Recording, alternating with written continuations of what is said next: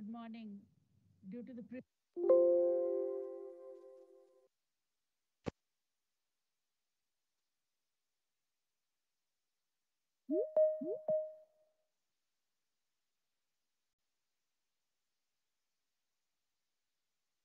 Good morning. Due to the prevailing situation across the world, the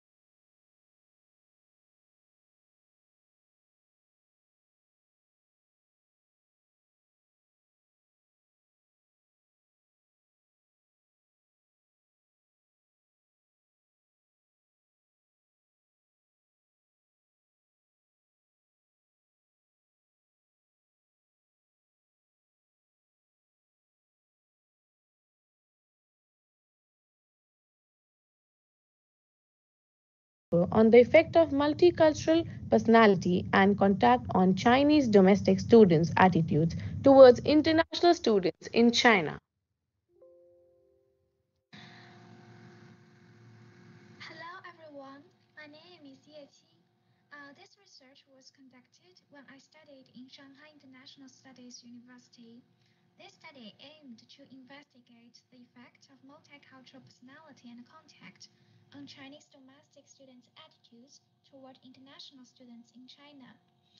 I am interested in student groups, interaction, and communication uh, for the reason that students are and will become the strong power um, for the intercultural communication in our world, especially when various challenges are coming.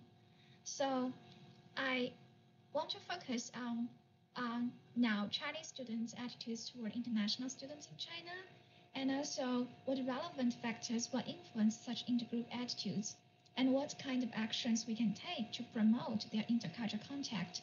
I think this would be very meaningful in our higher education and also for the society. Uh, this study mainly has three research questions. Um, the first research question is to ask Do Chinese students' contact with international students will influence uh, Chinese student attitudes toward international students. This question originated from Peter Pettigrew's intergroup contact theory, uh, which tells us that in-group members um, more contact with out-group members may reduce in-groups prejudice toward out-groups. There were two hypotheses within this research question. Uh, the hypothesis 1A is that Chinese students who have more uh, contact with international students will have more positive attitudes toward international students. A research, research hypothesis 1B is that Chinese students who have better contact quality with international students will have more positive attitudes toward international students. The second research question is to ask, do Chinese students' multicultural personality influence uh, Chinese students' attitudes toward international students? A multicultural personality is a widely used personality type in the intercultural context. Uh, it was put forward by two Dutch scholars, Van der Zee and Van Oudenhoven from Groningen University. And this personality is composed of five dimensions, and they are cultural empathy, social initiative, emotional stability, openness, and flexibility. And the research hypothesis um, two is that Chinese students will have a more obvious propensity to multicultural personality, will have more positive attitudes toward international students. And the third research question is to examine whether these two uh, variables work together to influence attitudes, and specifically it examines the interaction effect. To answer these three research questions, 263 Chinese students were recruited uh, from the Chinese uh, social media WeChat to complete the online questionnaire. And uh, this slide gives you a very basic uh, impression of what the sample uh, looks like. So most participants were recruited from Shanghai, and their age ranges from uh, 70 years old to 28 years old, and almost 58% were females and most were freshmen and uh, sophomore. So after the data was collected, um, it was uh, the, this data were analyzed in SPSS version 23.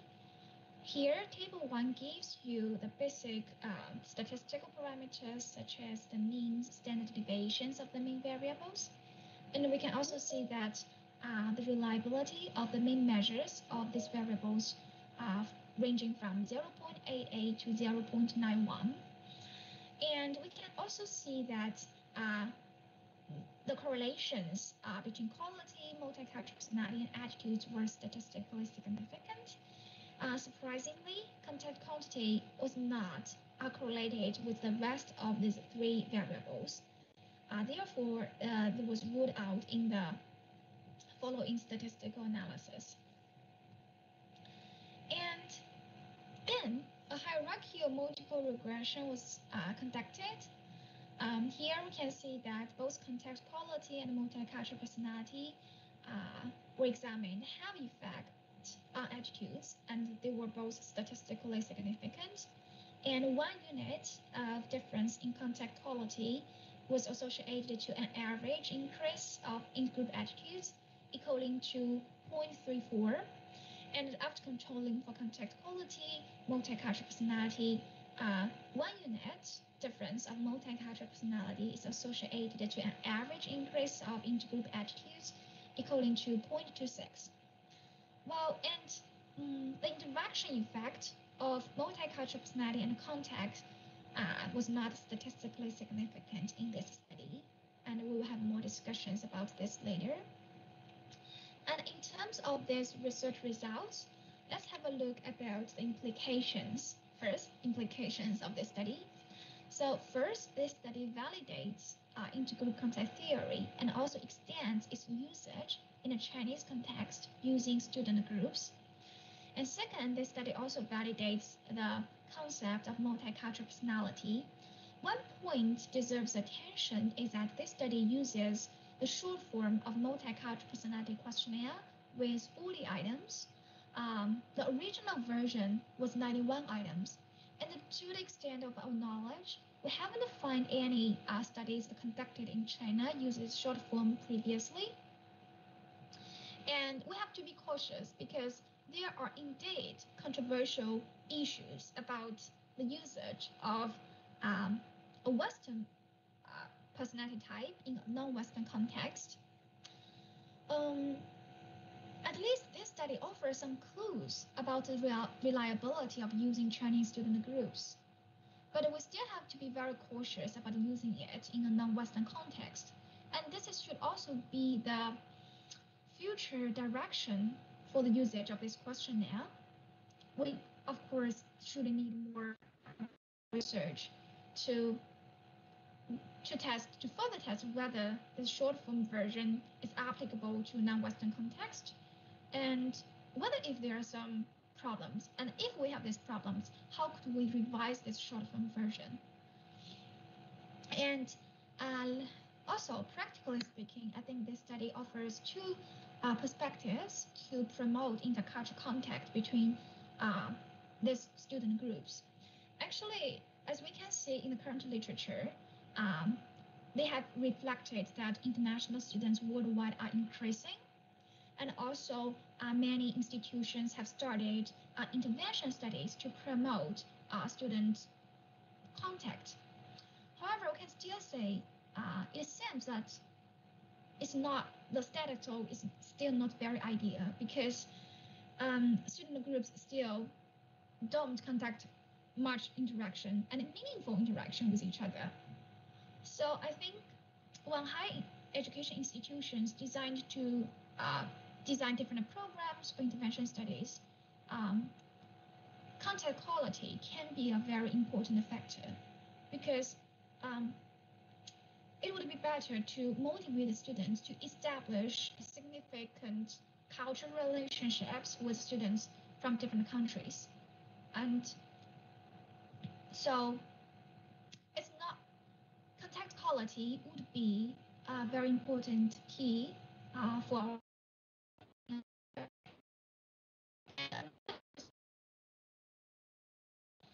um, it would be very meaningful to when they were uh, in university and um, traits are comparatively stable and but we can still think about but we actually when they accept university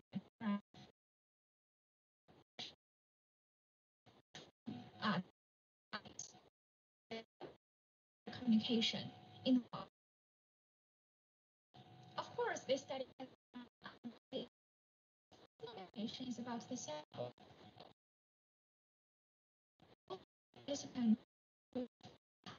so uh, uh, it would be also very helpful to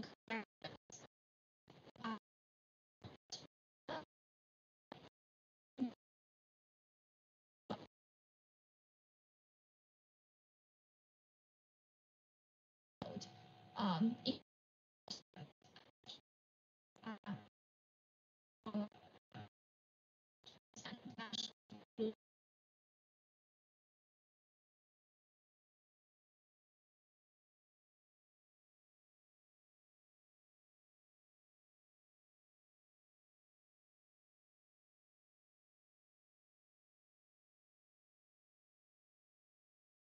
would be very interesting and meaningful if we could conduct longitudinal studies. For example, we can test these variables when uh, students first enter the university, for example, when they were freshmen. And then um, during their years in university, we can keep tracking these variables so that we can track the changes of these variables. And during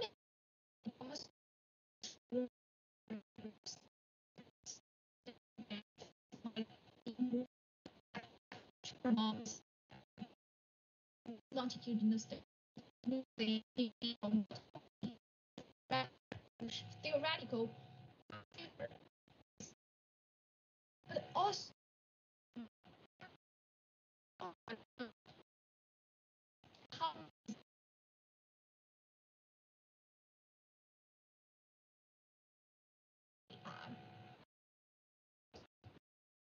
and Alaska social desirability because this study and uh, this study also actually tested four items offer very good reliability. So uh, future research should uh, be a measure of social desirability and also use more reliable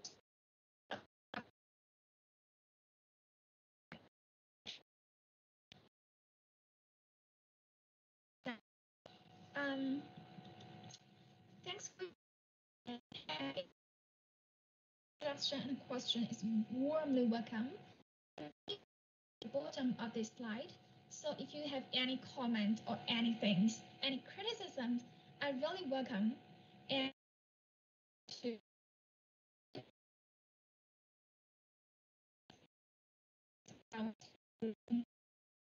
so Elsa Roy is a doctoral candidate in the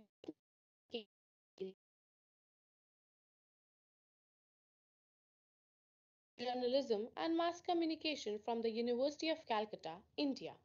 Roy has conducted field research in Pacific Northwest, Minnesota, India, and Bangladesh.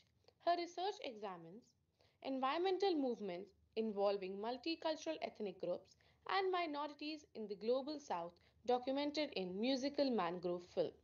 Roy teaches video production at UMN and critical media at Gustavus Adolphus College, US.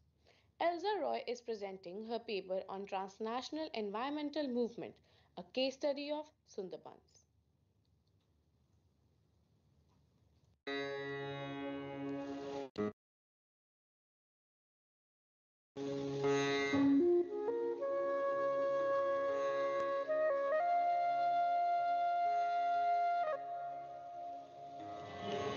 Sundarban নিজেই একটা দেশ। আমরা মনে করি যে সুন্দরবনের আবার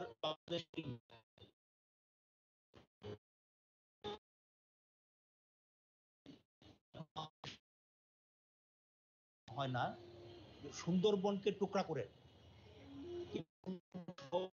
বন, নদী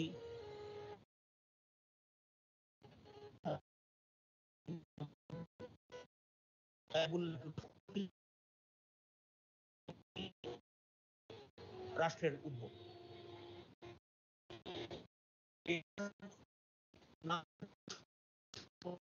সুন্দরবনের জীবনকে ভৌগোলিক বাস্তবতা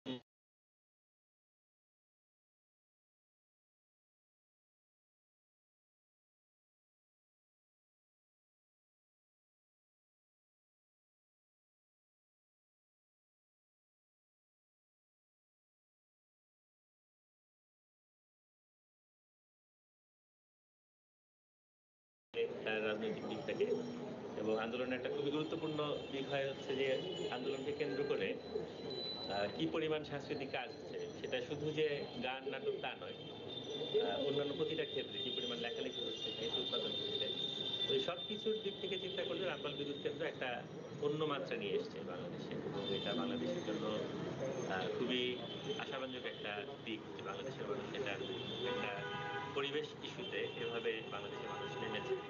আমরা গানের ভূমিকাতে সবসময় বলতে চাই যে পৃথিবীর সমস্ত জনগণ জনক জনগণ আমাদের সহযোদ্ধা। সুতরাং এই গানে আমরা ভারতের জনগণকে আমরা আমাদের বন্ধু হিসেবেই পেতে চাই। মূলত আমরা এই শব্দে প্রতিবাদ জানাচ্ছি ভারতের যে বাণিজ্য নীতি, পররাষ্ট্র নীতি কিংবা তার রাষ্ট্রীয় যে নীতি, মূলত গো গেট আউট ইন্ডিয়া শব্দে আমরা তার সেই রাষ্ট্রীয় নীতিটাকে আমরা বিরোধিতা করছি।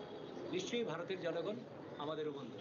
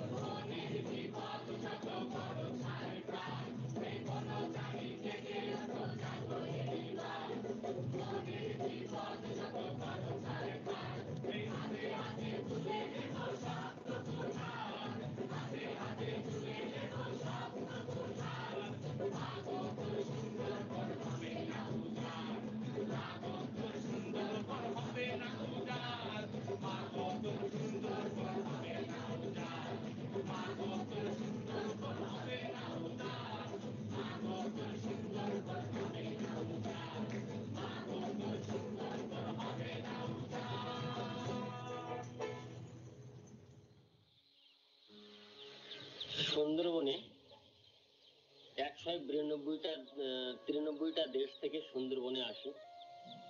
সুন্দরবনকে উপভোগ করতে ইকো ট্যুরিজমের নামে যে উল্লাস, যে আনন্দ চলছে, সুন্দরবনবাসী হিসাবে আমরা, প্রত্যেকটা মানুষ আমরা অখুশি। এত নোংরা করে যাচ্ছে।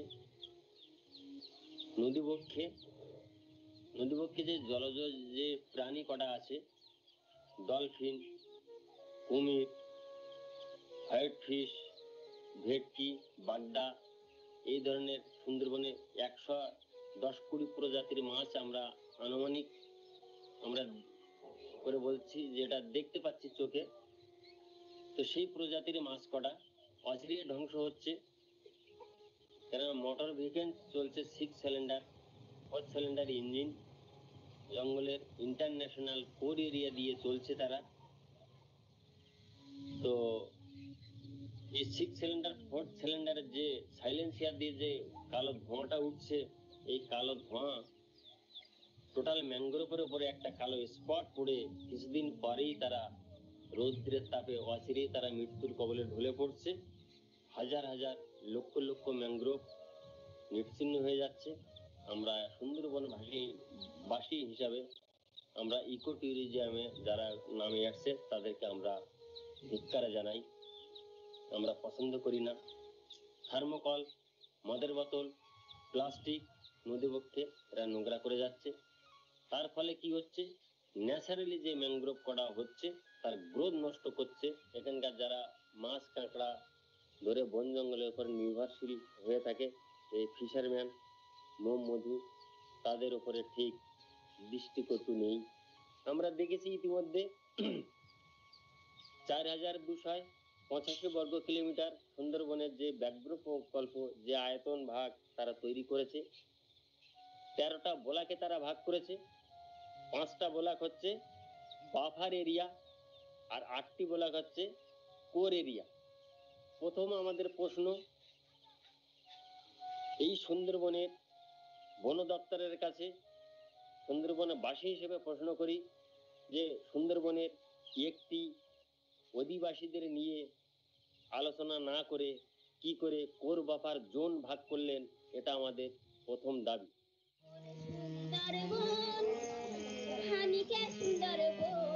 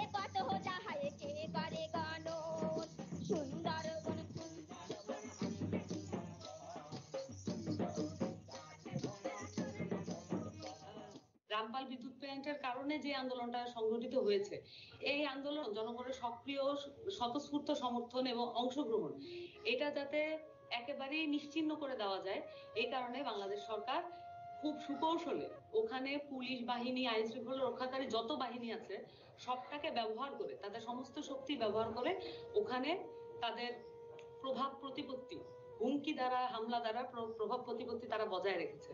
এবং আপনারা হয়তো দেখেও থাকবেন যে ওখানে রামপাল বিদ্যুৎ কেন্দ্রের প্ল্যান্টের যে পক্ষে এই ওখানে জনগণকে বাধ্য করা হয়েছে সেই মানববন্ধনে দাঁড়াতে।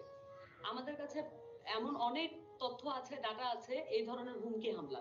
এবং সেখানে জাতীয় কমিটি সহ অন্যান্য ব্যক্তিবর্গ যারা নিজেদের মানে স্বতঃস্ফূর্ত অংশগ্রহণের জায়গা থেকে রামপাল বিদ্যুৎ প্ল্যান্টের বিপক্ষে এটা সরিয়ে নেওয়ার জন্য কথা বলতে গিয়েছেন। তারাই ওখানে হামলা এবং হুমকির সম্মুখীন হয়েছেন। এখানে ব্যাপারটা এরকম দাঁড়ায় যে আমাদের প্রকৃতিকে আমরা আমাদের চেয়ে ছোট হিসেবে দেখি, আমরা অবদমন করি প্রকৃতিকে। প্রতিনিয়তই মানুষ তার প্রকৃতিকে অবদমন করে তার ফ্লারিশমেন্ট তার ডেভেলপমেন্টকে জারি রাখে। এবং এই ডেভেলপমেন্ট আসলে আমরা মনে করি যে জনগণের পক্ষের না। জনগণ বলতে আমি এখানে একেবারেই রাজনৈতিকভাবে জনগণ বলছি না। আমি একেবারেই বলছি, মানুষের যে বেঁচে থাকা, মানুষের জীবনযাপন, মানুষের সাংস্কৃতিক এবং মানসিক যে চর্চা এটার বিঘ্ন ঘটিয়ে এখানে ডেভেলপমেন্ট থিওরি বারবার করে কাজ করিয়ে যাচ্ছে। প্রত্যেকটা ডেভেলপমেন্ট প্রজেক্টের পিছনে সরকার ব্যতীত, সরকারের প্রত্যক্ষ সমর্থনে কিন্তু সরকার নিজস্ব প্রজেক্ট বাদ দিয়ে ও সরকার সবসময় ব্যবসায়ী প্রতিষ্ঠান এবং বিশেষ করে বাংলাদেশের ক্ষেত্রে অন্যান্য দেশের ব্যবসায়ী প্রতিষ্ঠানকে এখানে জায়গা করে দেয় এবং ব্যবসায়ী প্রতিষ্ঠান সব সময় চেষ্টা করবে তার সর্বোচ্চ মুনাফা, সর্বোচ্চ তার সুবিধা এবং সর্বোচ্চ তার যে প্রফিট এটাকেই আদায় করার চেষ্টা করবে। আমরা আমি এক- একজনের কথা বিশেষভাবে বলতে চাই। ভারতের যে eco eco family socio cultural activities এর মধ্যে যে আছেন, বন্দনা শিবার কথা বলতে চাই। বন্দনা এখানে বারবার করে বলছেন যে, এখানে বায়োডাইভার্সিটি এখানে গুরুত্বপূর্ণ ব্যাপার। কতটা প্রফিট প্রফিট হচ্ছে সেটা গুরুত্বপূর্ণ ব্যাপার না। বন্দনা সবসময় বলছেন যে, এখানে কত, একটা টোটাল বাস্কেটের কথা হিসাব করতে বলছেন উনি। যে, একটা ল্যান্ডে কতখানি, কত ধরনের ডাইভার্সিটি যুক্ত, কত প্রকারের ফল, ফুল, শস্য উৎপাদন হয়, এটাই গুরুত্বপূর্ণ বিষয়। গুরুত্বপূর্ণ বিষয় এটা না যে কতখানি, কত বেশি পরিমাণে তুলা উৎপাদন হচ্ছে, কত বেশি পরিমাণে আম উৎপাদন হচ্ছে, এইটা গুরুত্বপূর্ণ বিষয় না।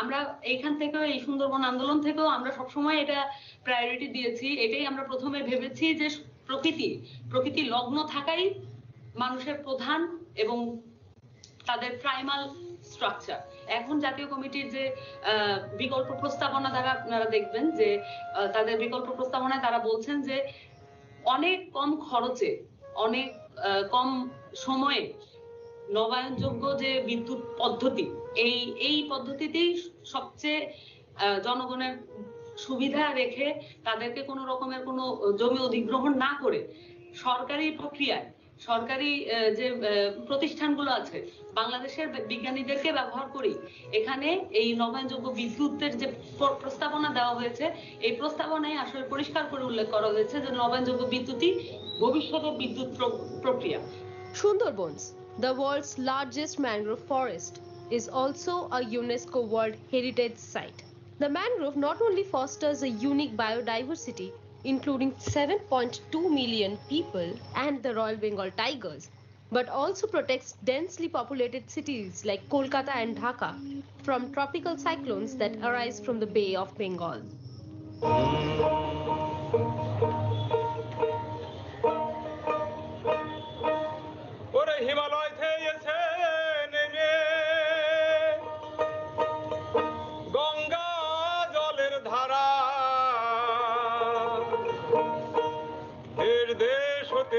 তীর্থযাত্রী প্রণমী আত্মহারা। এই সে গঙ্গা তীর্থে এসে কোন পবিত্র ধাম? বিশ্বধামের রানী সেজে বঙ্গভূমি না। ওরে গঙ্গা নদী বঙ্গে এসে, বলি জলে নুনে মিশে, করিলা সৃজন। ভয়ঙ্কর সুন্দর করিয়া, অভয় সুন্দরব গাজী পীরার বন বিবির আশীর্বাদ সম্বরী। চরণ ধুলি লইয়া গাইনু বাদাবনের জারি।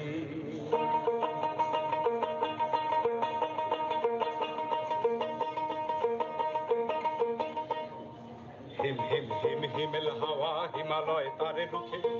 হারিকেন সেও হার মানিকেছে সুন্দরবনের বুকে।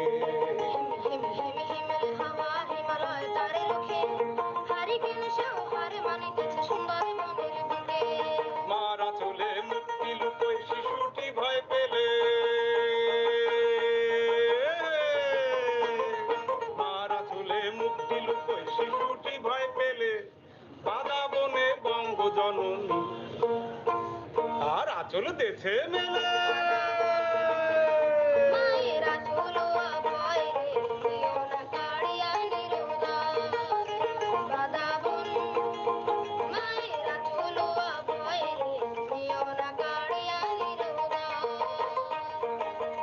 গাছের খুঁটির পরে গরান গাছে রাড়া ফুল পাতার শীতল ছালি হাতাল গৌরীর বেড়া। গাছের খুঁটির পরে গরান গাছে রাড়া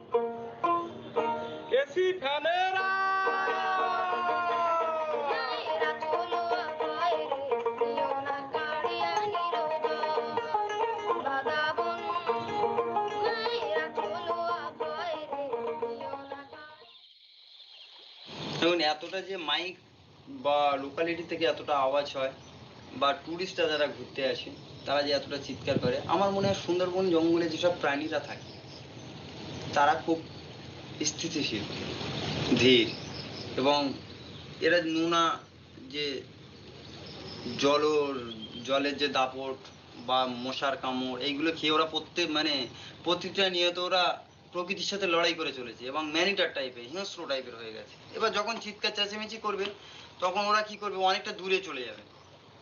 এবার ওরা তো কোনো শব্দ বা কোনো কিছু আওয়াজ শুনতেই পাবে না। অনেকটা ভেতরে চলে যাচ্ছে, যার ফলে পর্যটন কেন্দ্র মানে যারা ঘুরতে আসছে টুরিস্ট পার্টি তারা কি করছে? তারা চিৎকার করছে বক্স বাজাচ্ছে।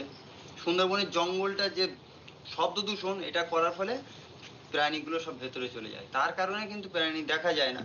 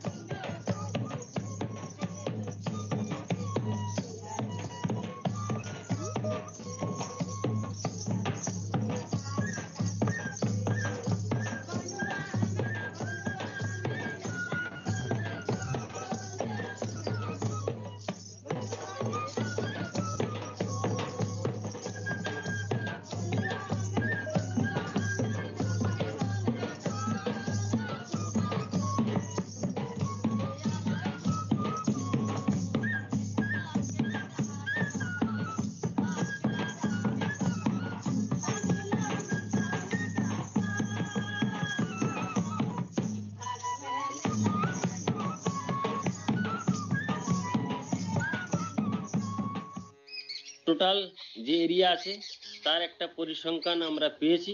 প্রায় তিন হাজার ক্রস করে দিয়েছে ব্যাঘ্র বিধবা। লাহাড়িপুর অঞ্চলে আমাদের বাইশটা গ্রামে আমরা ডোর টু ডোর সার্ভে করে দেখেছি। দু হাজার ছয় সালের ফরেস্ট রাইড অ্যাক্টের পরে আমরা দেখেছি। দুশো পঞ্চাশ জন ছাড়িয়ে গিয়েছে এই ব্যাঘ্র বিধবা। তাদের স্বামী মৃত্যুর কবলে তারা চলে গেছে বাঘের পেটে। তাদের ছোট ছোট বাল বাচ্চা নিয়ে, বউ বাচ্চা নিয়ে তারা কুঁড়ে ঘরে গুমড়ে গুমড়ে তারা কাঁদে। তাদের বিকল্প কোনো রাস্তা নেই, বিকল্প কোনো লাইভলিহুডের কোনো চিন্তাধারা বর্তমান সরকারও করছে না এলাকার স্থানীয় প্রশাসন করছে না। তাই আমরা চাই যে কোনো সহৃদয় ব্যক্তিগণ, কোনো এনজিও যদি এসে এই মানুষের পাশে দাঁড়ায় সুন্দরবনবাসী হিসেবে আমরা খুব খুশি হব এবং গর্ববোধ করব Arjun Mondol died of a tiger attack on 29th July 2019 while he was hunting crabs. Arjun, the leading human rights advocate for tiger widows, is survived by two children and his wife, Pushpo Mondol, a tiger widow. Tiger widows are the women who lost their husbands in tiger attacks. With climate change and sea level rise, saltwater encroaches. As the islands keep submerging, tigers are more inclined to invade human habitats. Despite the opposition in Bangladesh, work at Rampal power plant continues as of June 2020. Since the archipelago sits on Bengal Delta, climate change makes unprecedented storms a frequent event. The region barely recovered from the 2009 cyclone Ayla. In November 2019, it was hit by cyclone Bulbul, and in May 2020, it was hit by cyclone Amphan. A death toll of more than 100 is only the tip of an iceberg of the destruction it has caused. Miles of embankments were breached, and the saltwater inundation will make the fields barren for years.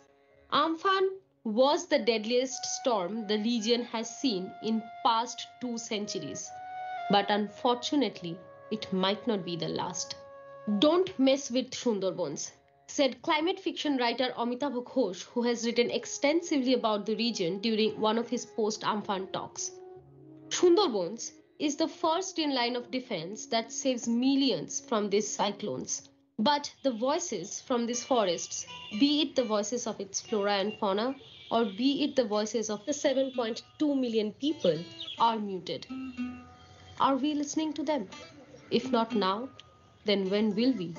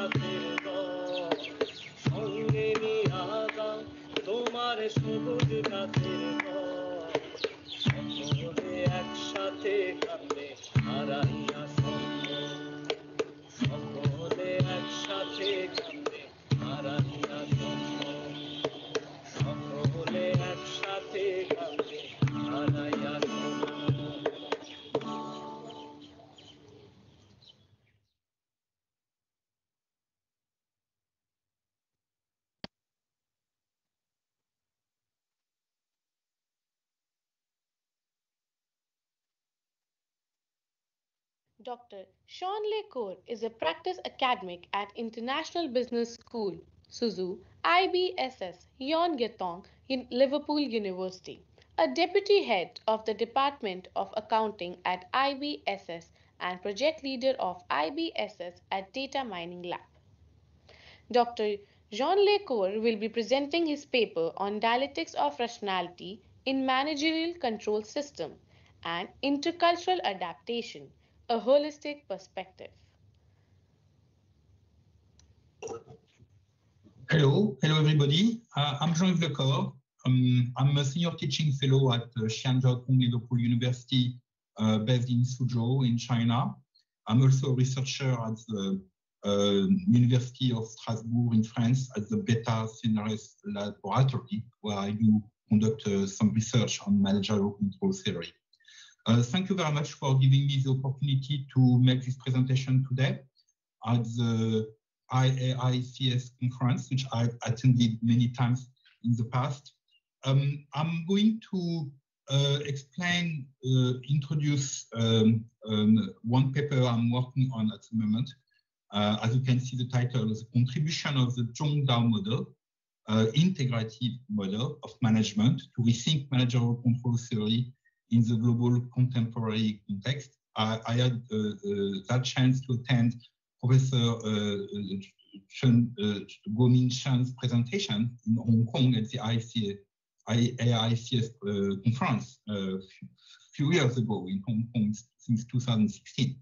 Um, and um, since then, uh, I, I came back to, to, to that concept and um, try to put it uh, into, into some uh, research I'm doing at the moment. So I'm very pleased to, to, to, to explain here uh, about this, this project.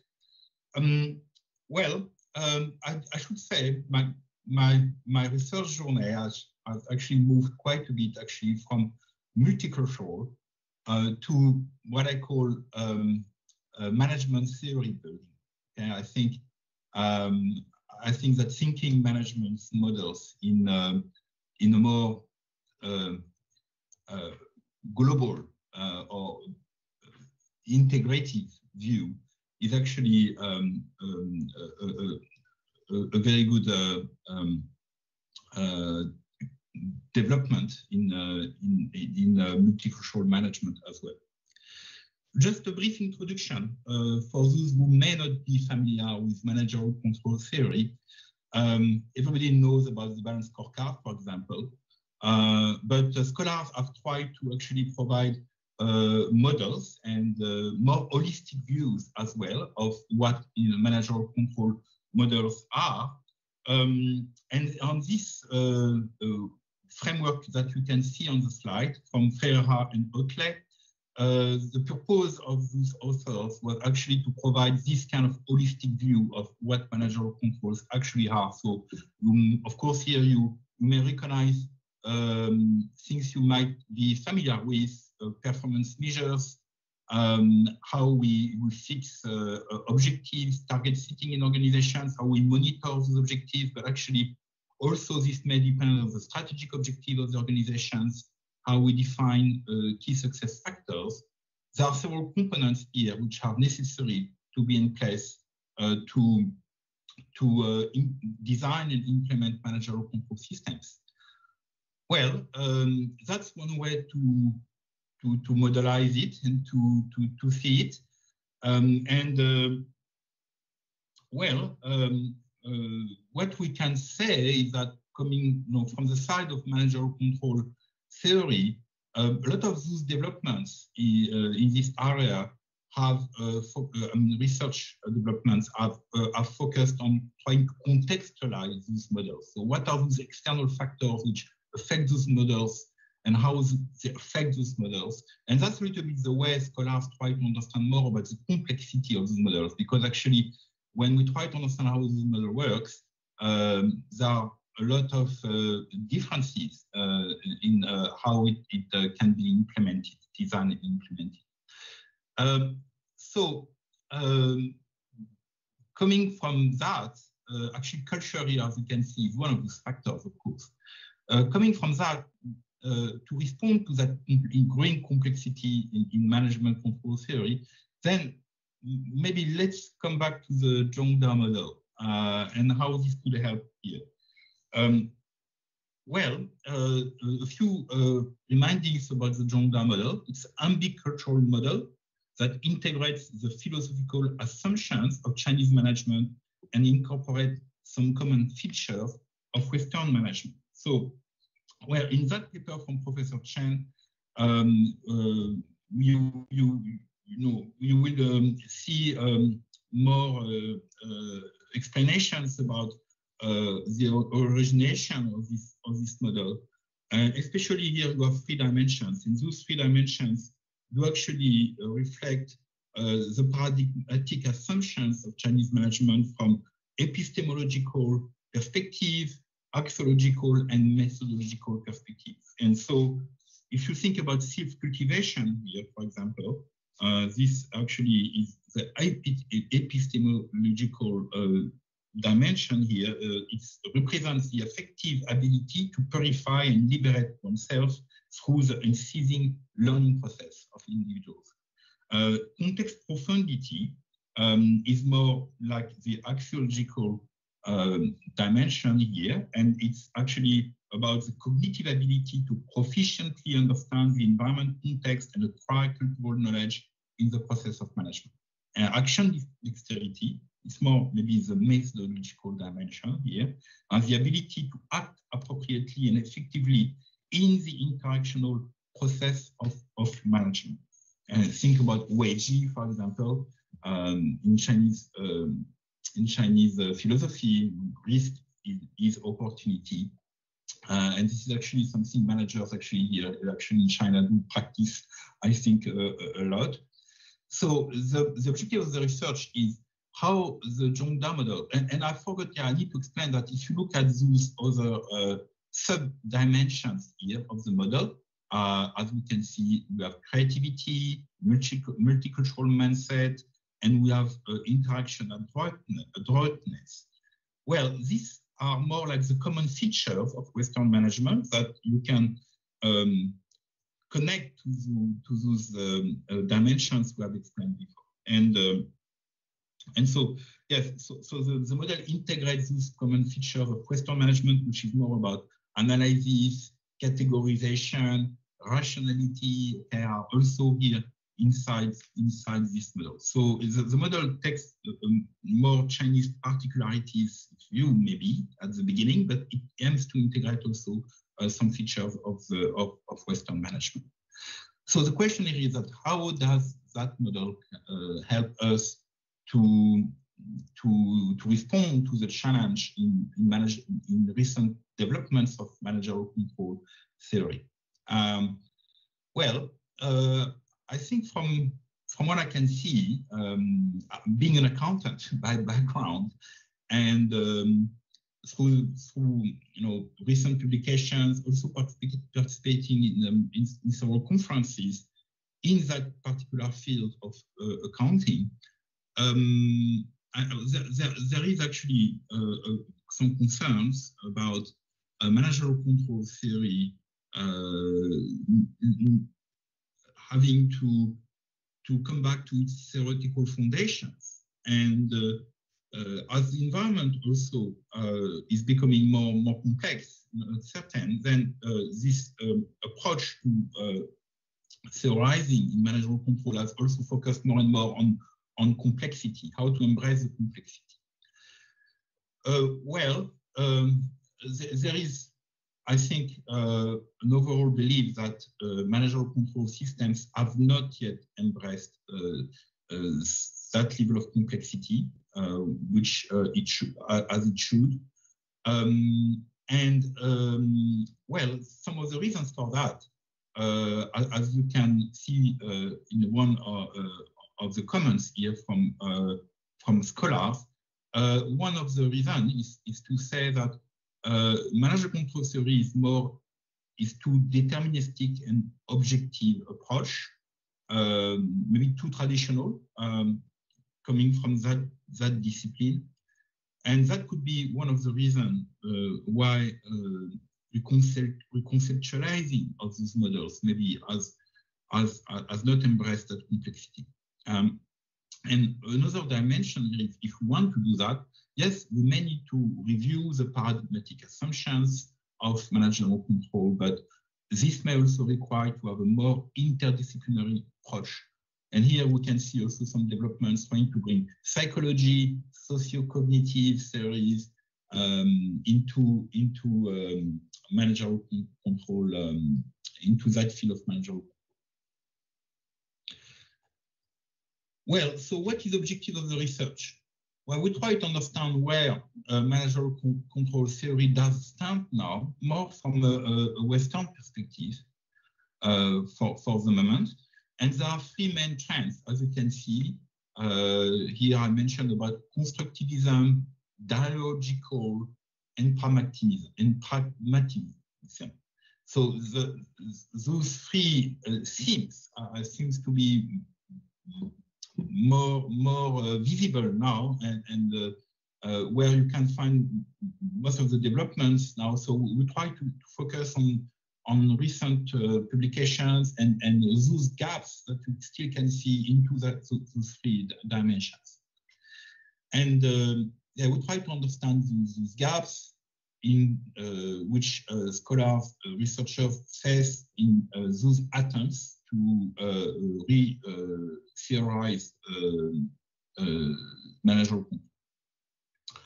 Then the research gaps are categorized and interpreted in three perspectives, which are the ones of the Zhongdao model that we explained before, epistemological, methodological, and axiological as well. So um, so we, we try to analyze these gaps and see uh, and, and, and, and, see how the, the, the model um, can help to interpret those, those, uh, those gaps. Um, uh, we and what to conclude, what we want to conclude that the Zhongdao model as a basis for the development of theoretical frameworks um, for further qualitative research in managerial control theory. So I've been involved in managerial in qualitative research in that field using constructivist models of learning. And as we know, um, we we we need some theoretical background and framework to be able to investigate those those phenomena on the ground that can observe, and uh, then Zhongdao model as a way to uh, to, to, to integrate several uh, philosophical assumptions, maybe in connections with other other other kind of theories, uh, then um, this actually can provide a, a strategy for researchers to um, uh, investigate uh, uh, some new new models and um, and and implement implement the research in that way.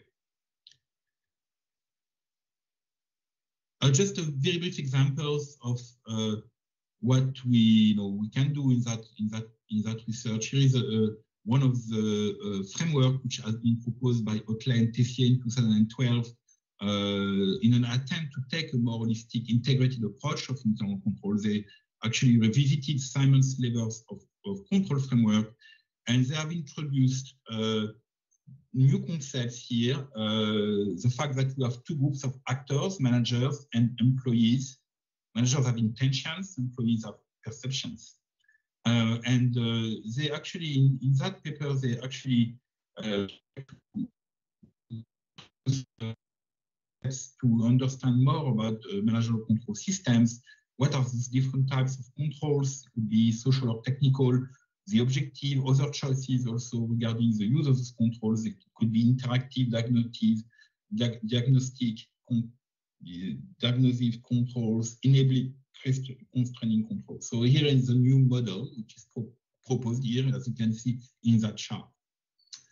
Um, how could uh, the Zhongdao model and how could uh, uh, new paradigmatic assumptions here that we explained before help to to to apply to that uh, revised framework? Well, what we know is that some of the advantage of that uh, framework proposed by Otley and Tessier aims to embrace paradox, so that's a good thing, and also uh, also provide more backgrounds on beliefs and boundary systems and also interactions between the components of the managerial control system. So it goes into the right direction, but there are still quite a lot of limitations here. It's stable, it's not dynamic, it does not um, address the interactions between the participants, uh, only the components, but not the participants inside you know, the individuals, actors, you know, who act in the design of, of the uh, uh, practice of, of the control systems does not really uh, define very clearly what we mean by rationality in performance management systems as well. And it does not really focus also on performance measures, uh, uh, but measures could be important as they are also, they represent the way that people construct reality in a more constructivist approach of uh, managerial control. Uh, so, uh, well, I, I, I, guess you know um, the, the, the, paradigmatic assumptions we explained before could also maybe keep help keep further forward here on, on this question. Thank you very much for, for your attention. And uh, um, if you like to share more, or uh, I would be happy to answer any question you may have. Please uh, contact me by email. Here is my email at the university and also my personal email. Thank you very much for your attention. Bye-bye. Miss Yayuan Qiu graduated from the Chinese University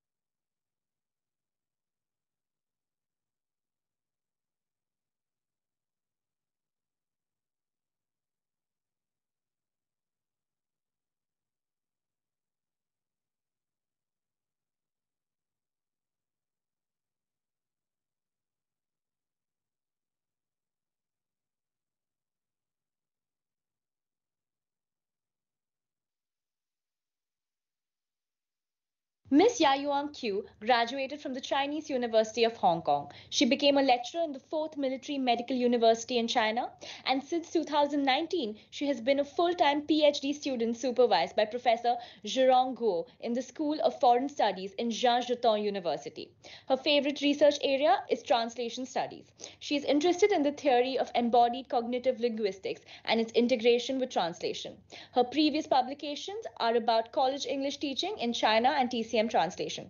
She will be presenting a paper on English translation of traditional Chinese medicine, terms of the theory of yin yang, and five elements of the perspective of embodied cognitive linguistics, with 78 TCM terms from the inner canon of Huangdi as examples, co authored by Yayuan Ko and Professor Zhirong Guo, China. Hello, I'm Ya Yuan. I'm from Xi'an Jiaotong University. I'm honored and very happy to share my research reflection with all of you.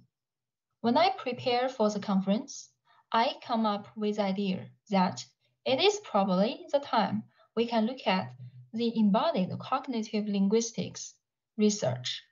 And I particularly put very much thoughts into how we can advance the theory of ECL through TCM translation study using a variety of methods. Before I start, I would like to invite you to think about three questions here. This is the thing we are talking about today. Here is outline.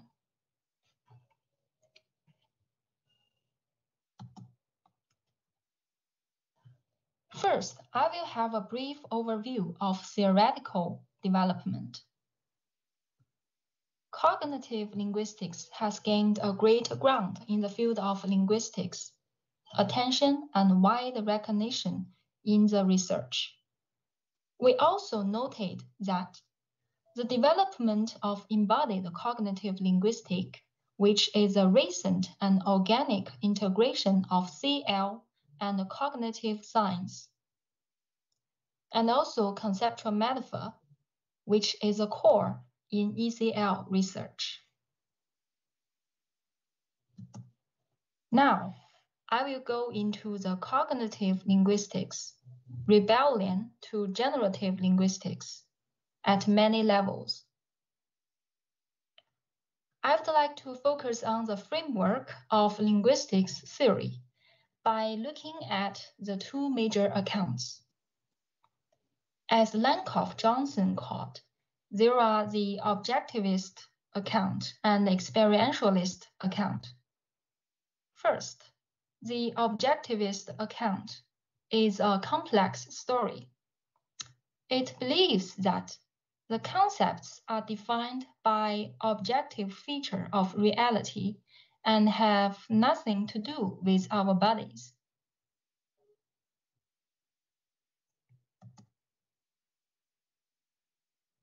Now let's see the experientialist account.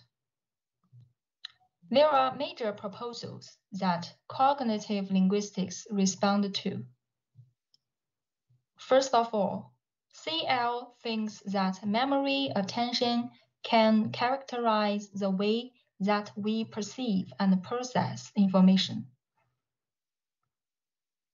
Second, Language arises as a result of abstraction and generalization of human experience. Thirdly, CL believes that language is not born, it is learned in social interaction. Here, we may safely draw the conclusion that CL regards that the concept is based on my body and bodily interactions with reality. To a large extent, the concept becomes embodied through image schema, and the abstract concepts can be embodied by metaphor. More importantly, the ECL emphasizes that the human can build universal metaphors on the basis of bodily experience.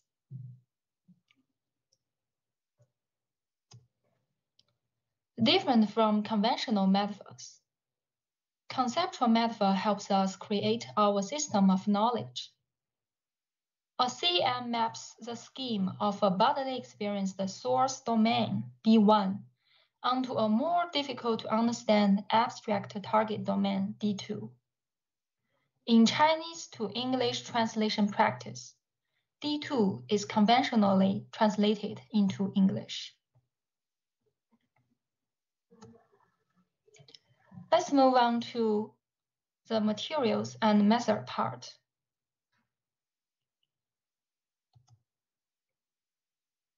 The inner canon of Huangdi, as we all know, is a core East Asian medical and philosophical classic, but it is difficult to translate because of the concise forms of language with profound implications.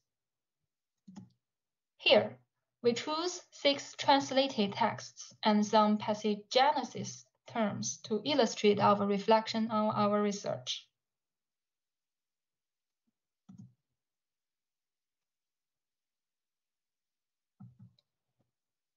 And I particularly focus on Chinese Xu and its translation for the case study. Here, we refer to one important principle in cognitive translation research. Cognitive equivalence would be the equivalence between source language and target language in terms of the form of things that the respective receivers have in mind, as shown by the mappings of CM. Corpus search plays a fundamental role in identifying patterns of words that occur systematically together. Here is a major component we will use in the future research. Now let's see what we have got. First, we look for the definition of Chinese Xu in three different dictionaries.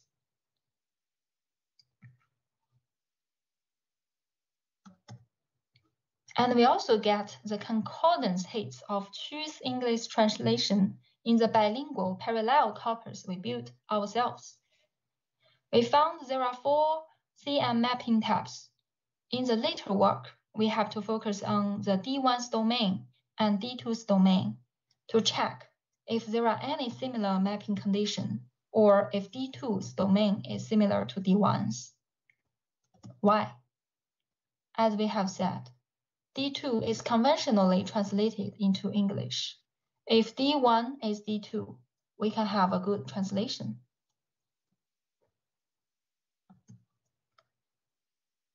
According to the etymology and collocates of Chinese Xu, we found that Chinese Xu means empty, deficiency, and weak.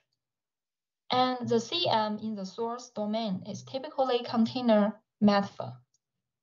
And for log dice, the higher its value, the stronger the bond between the collocate and the node.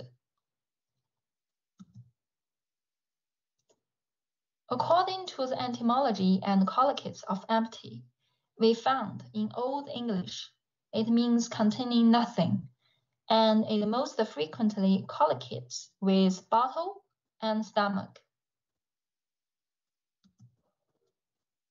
For deficiency, we found that it usually collocates with vitamin and syndrome. It shows that we often use the word in the medical context. And also the other words.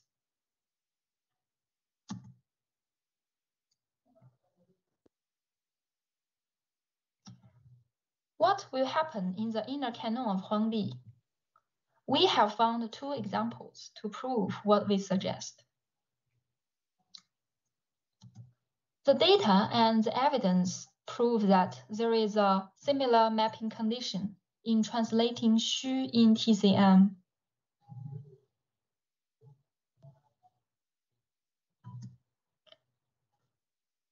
And obviously, Chinese Xu shares the same domain with empty, that is, container. The domain container is presented in both English and Chinese languages and used as container metaphor according to ECL. So is deficiency.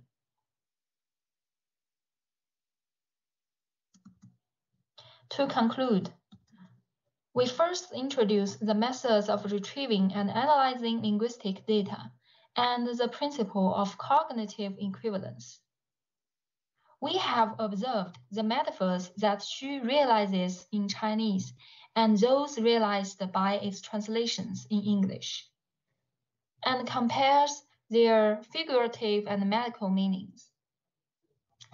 And it is noted that our conceptual system is embodied with some examples in TCM. And the chief mechanism that can make abstract concepts embodied is metaphor. So much for the presentation. And thank you very much.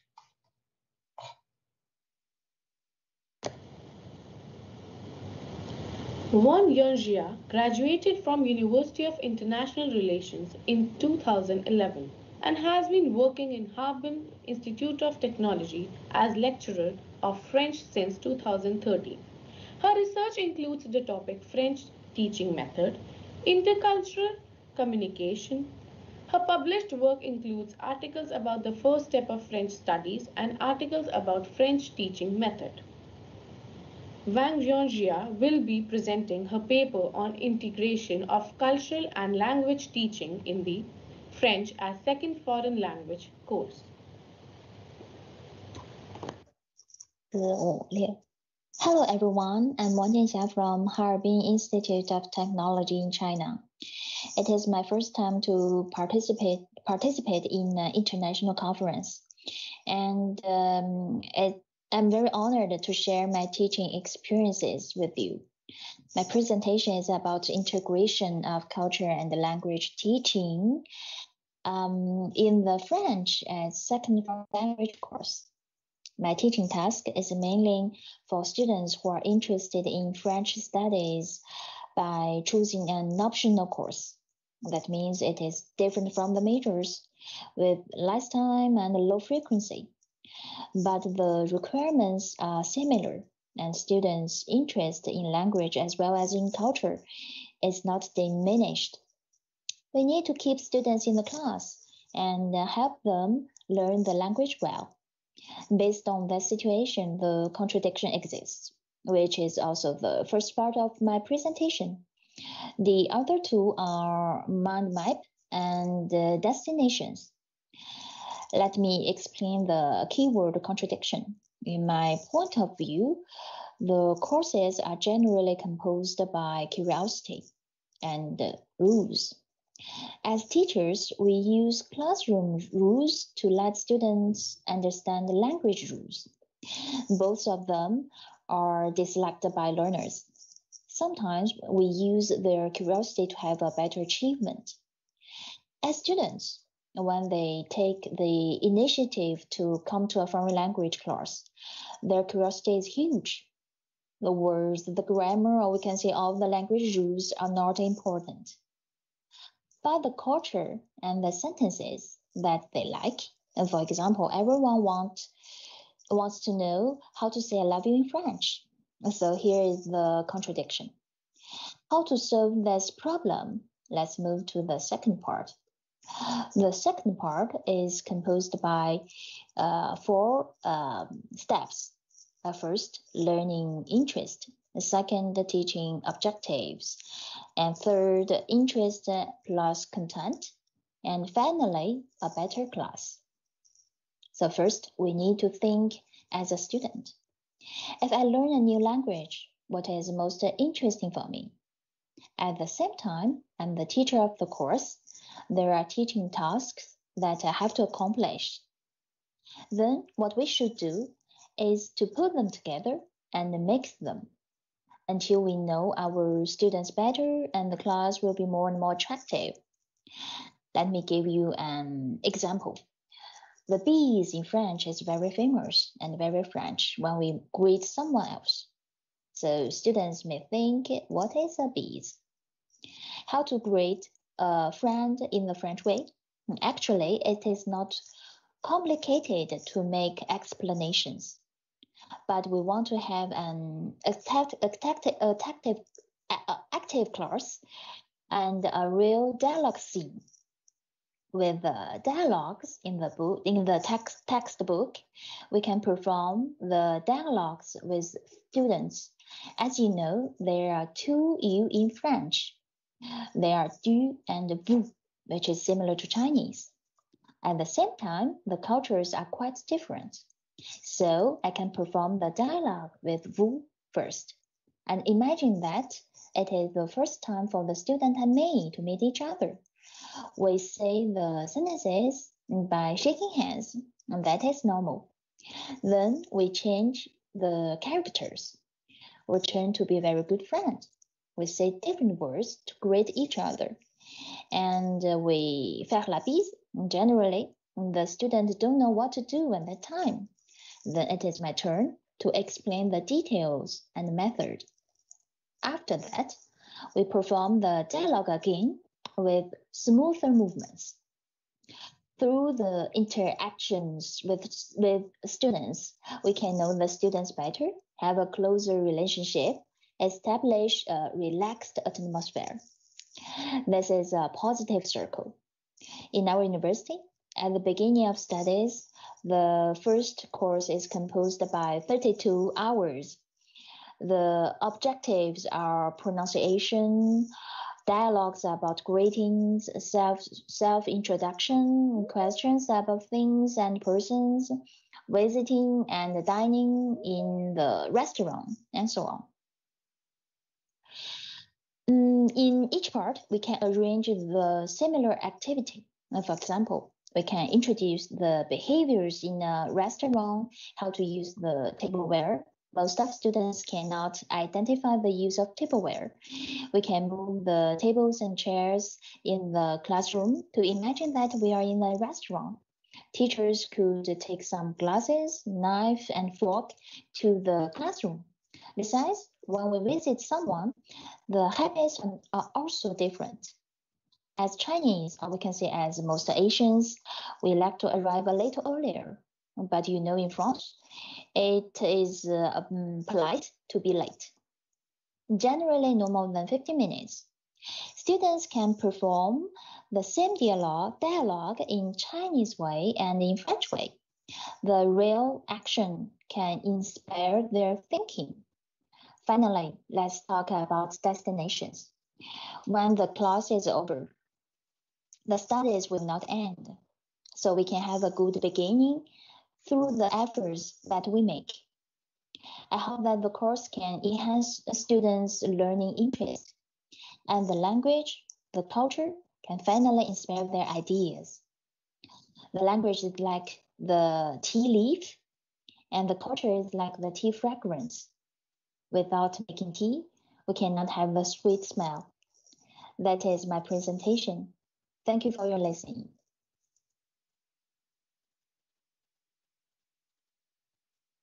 Hongen Lan is an associate professor at Fukuoka Jogakuin University, Japan. He has completed his BA in English Education and PhD in Communication. He will now be presenting a paper on the topic What Differences the Two Weeks Make, a project report. Hello everyone, my name is Hong Yan Lan and I'd like to share my research study on a 500 project. Uh, the title is What Differences Can Two Weeks Make? This project was inspired by Professor Tina Seelig's $5 challenge. What she did basically was to give uh, each group of students uh, one envelope which had $5 as their seed funding and they had much time to plan, to come up, to brainstorm, to come up their plan. But once they opened the envelope, they only had two hours to implement their plan.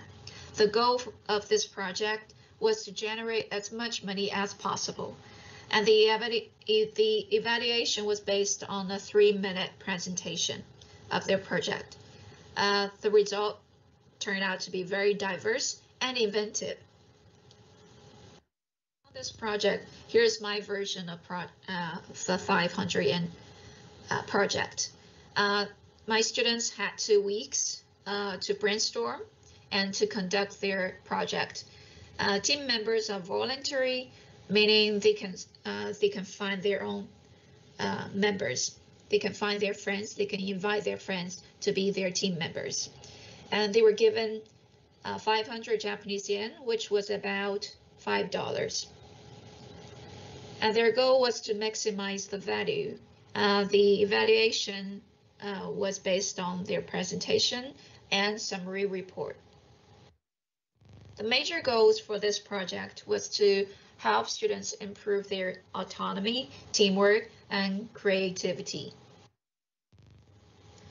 So, uh, as a result, um, two classes with 56 students and 54 of them chose to participate in the project. In total, there were 12 groups. Like the first class, out of 18 students, 17 of them participated. There are three teams. As you can see from this form, all three teams decided to sell drinks or snacks at a departmental event. And the first team, Team Almonds, they made 610 Japanese yen as their profit. Class 2, uh, there are 48 students and 37 of them part participated in the project. There are nine teams in total. So as you can see from here, the highlighted the uh, highlighted groups are groups that didn't use the fund uh, the fund of 500 yen at all. Um, in total, there are three um, three categories emerged. So the first two are team Team Autumn and Team Mars. They uh, conducted uh, two research two research studies. Uh, Team Autumn investigated how people view uh, 100 yen, how people of generations view 100 yen, and what they would do with it. And Team Mars, the second team, uh, they didn't use the 500 yen. Instead, they uh, investigated people's perceptions uh, of 500 yen and what they would do with it. And two groups uh, had cultural exchange. For example, Team NJAM, uh, because they had one Nepalese students, so they decided to make traditional Nepalese coasters using wool. So this is a cultural experience, and the members uh, learned how to make uh, traditional Nepalese coasters. And Team Dinosaur didn't use the 500 yen either, uh, basically because they had two foreign students. So each student, each member uh, brought a dish, their traditional dish, and then they had a potluck party and had a fun time exchanging their, their cultures. And the majority of um, act, the majority uh, of the project activities was charity and voluntary uh, activities.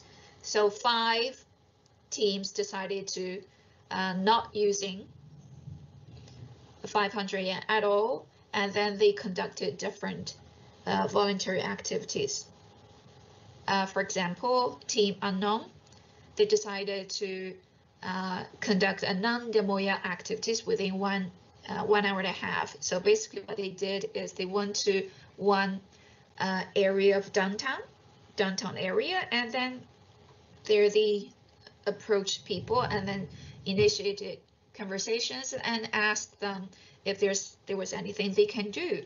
And then the anyone, um, those people are, um, if they wanted to give some money as uh, as a reward, uh, they will they were welcome to do to do so. So in this way, they were able to collect 3,850 Japanese yen uh, as their profit.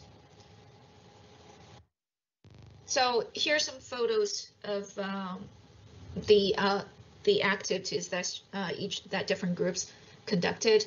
I hope this can give you some uh, a better picture of what they did. And this is a charity uh, donation. Students collected uh, donation money. Um, in five days, they talked to, they were able to talk to 132 students on campus. and in the end, they were able to collect this much, this amount of money.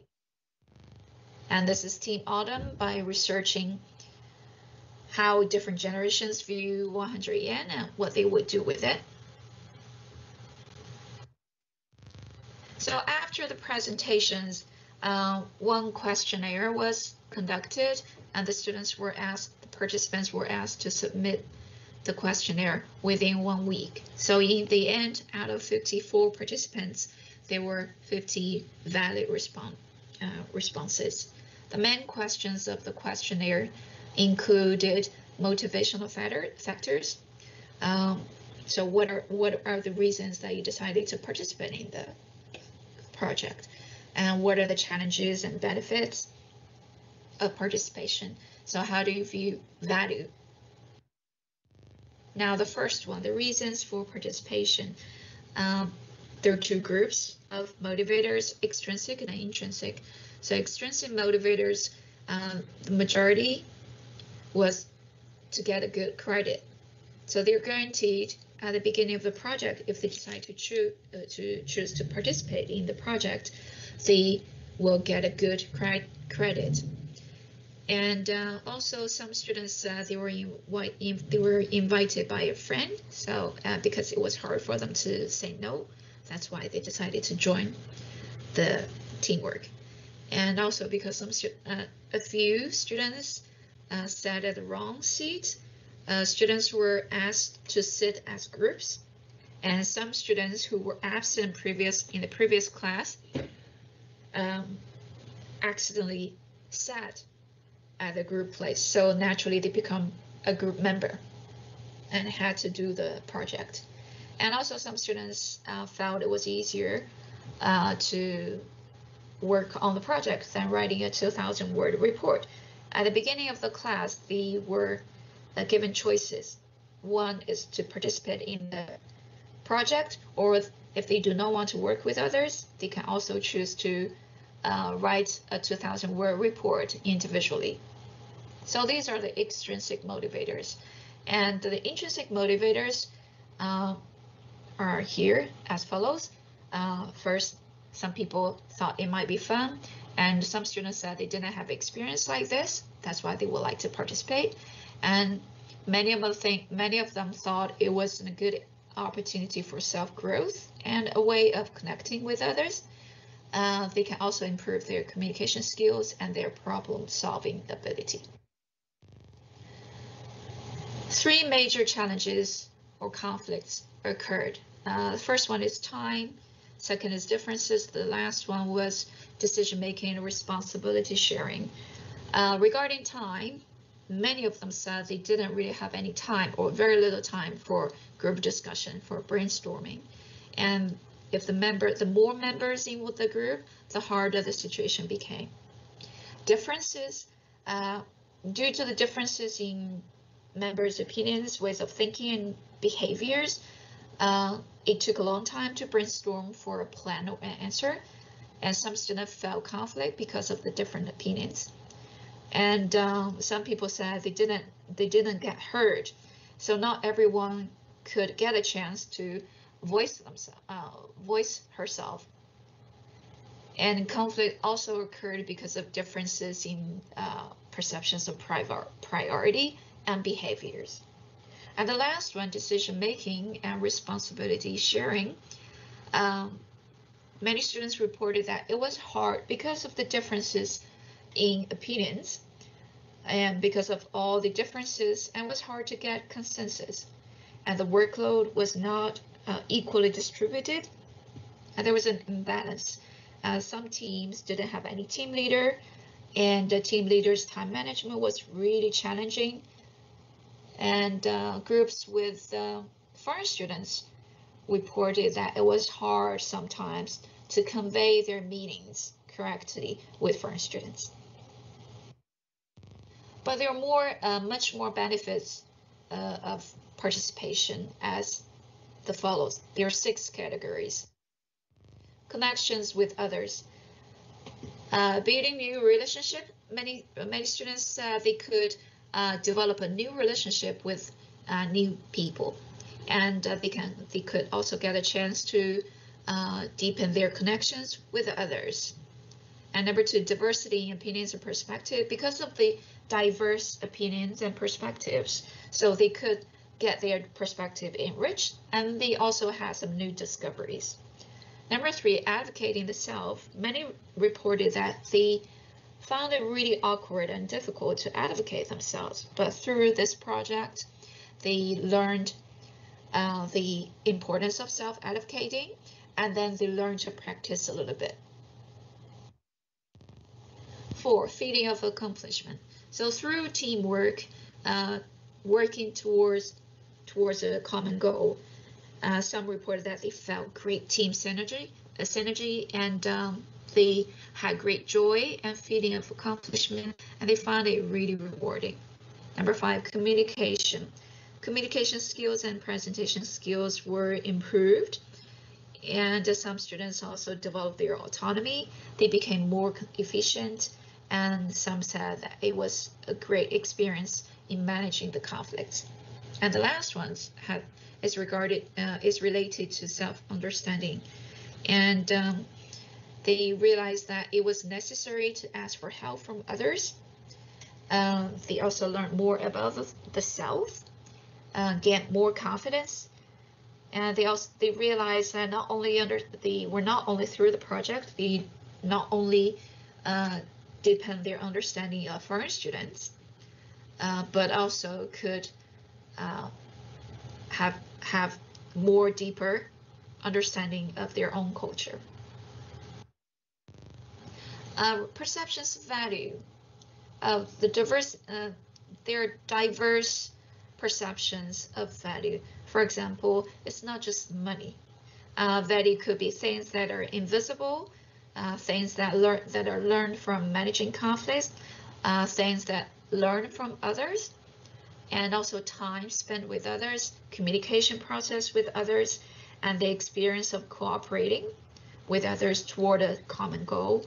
And the connection with others and the warm feelings uh, are also considered value, valuable. And good memory, as well as participation in the project itself. All of these are valuable, therefore um, can be considered as value to the participant. So discussion motivators. Um, through the results, we can tell that motivators have a, have have an influence, have an impact on the results of teamwork. And students' extrinsic motivators can be transformed into intrinsic motivators through participation of team teamwork activities. According to Pink, uh, the secret to high performance is not rewards and punishments, which are extrinsic, but intrinsic motivators. The drive to do things for their own sake, uh, to do things because they matter. So through this project, team members with intrinsic motivators reported strong feeling of accomplishment and found participating rewarding. Autonomy. Uh, according to mere measurement effect, uh, when people are asked what they intend to do, they become more likely to act in accordance with their answers. So through this team or the project, uh, members' autonomy is reinforced and they tend to challenge more even if there's a possibility to fail. Last, nudge. Uh, Deci and Flaste uh, stated that providing meaningful choice is central to, in supporting a person's autonomy. And therefore, nudging with uh, uh, with uh, providing, meanwhile providing meaningful choices, um, can have a very can have can have delayed effects which reinforce uh, people's autonomy. So as educators are nudging uh, while providing choices to students will make a big difference. I'd like to wrap up with uh, Deci and Flaste uh, saying, people are organisms who by nature explore, develop, and take on challenges. Thank you. Deepika Ratan is a research scholar from the Department of